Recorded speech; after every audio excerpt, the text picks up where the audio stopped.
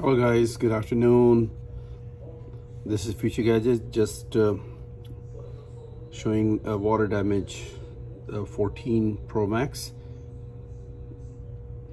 You can see the water is still standing inside and that had the phone was submerged in in a in water probably in a toilet and uh, customer took it out but unfortunately you know I guess there was no SIM tray. That is one of the reasons the water filled inside. Similarly many times the water goes from the earpiece area okay right here. And then that's how you can see the the water is still standing in front of the front camera as well.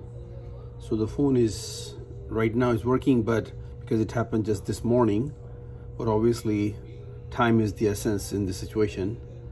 And good thing is customer just brought it uh, quickly. And now uh, we are going to open up this phone and service it completely. But I'm just going to show that this is what happened with the with the water goes inside the cam inside the phones. Unfortunately these phones are not really like water resistance or at least uh, you know not the waterproof but maybe water resistance for for for a minute or so but we have seen so many of these phones water damage okay? Like 14 14 pro max 13 12 all of them. You know especially when the rain happens this and this is very common with the rain.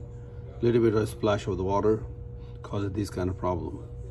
So we have to open up this phone and service it and we'll show you how this thing worked after the afterward okay? Thanks for watching. Continue watching us with the next video. Thank you